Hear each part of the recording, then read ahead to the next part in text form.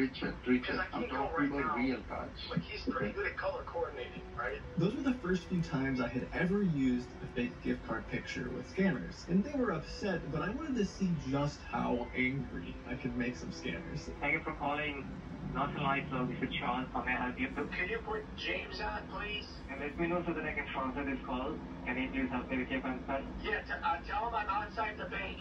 I got the cards and I- I'm ready to do the wire. Just don't tell not to call the police. Okay, for context, I made up this entire scenario, but the scammers are gonna go along with it because it's similar to the script that they usually use anyway. This is James.